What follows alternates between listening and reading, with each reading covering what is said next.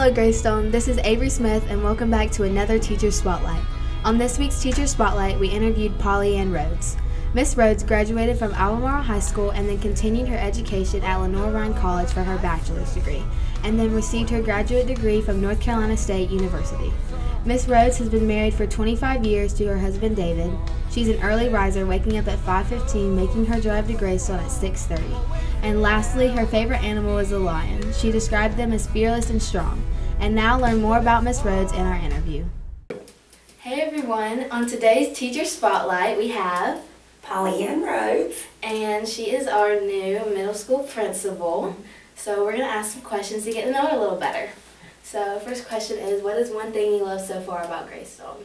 Oh my gosh, I love the people. I, I just love the mindset that everybody is here to be excellent and have a college focus and I don't know, I just everybody is it has made me feel like I'm part of a family. It's not a job. It's like coming to work with my family. So it's been really nice meeting everybody and they have great attitudes and a wonderful outlook on what it's like to educate children and students. We love our Gray Stone family. um, our next question is going to be a little more personal, but what made you get into the teaching world? Gosh, a long time ago, I just really wanted to make a difference in the lives of people in general. And um, I began as a physical education teacher, and I worked in an elementary school in Raleigh, uh, several elementary schools, but my last school I worked for 16 years in elementary school, and I absolutely loved it.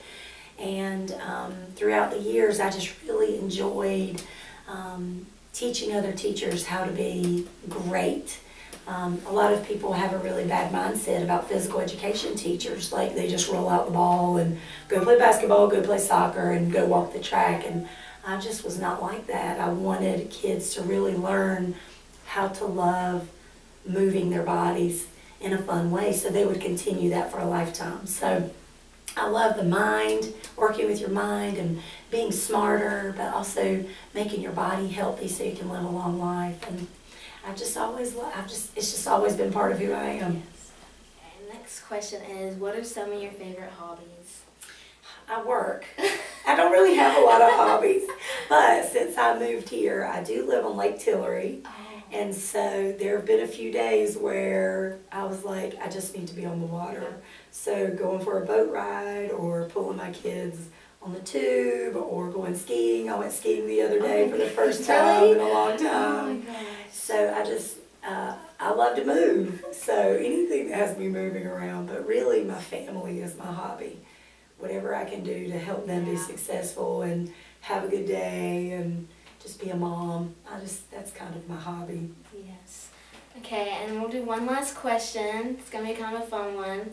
So if you could go on any vacation, what would it be? Oh gosh. Um, well, I hate to be cold, Me too. so I would not go anywhere cold. Me either.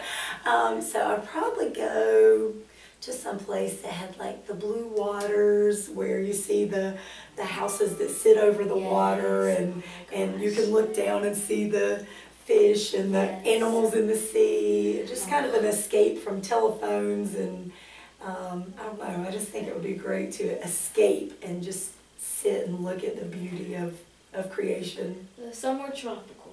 Yes, yes. Okay, well that's gonna wrap it up. Thank you so much for taking Thank the time. you. Thank Thank you guys for watching.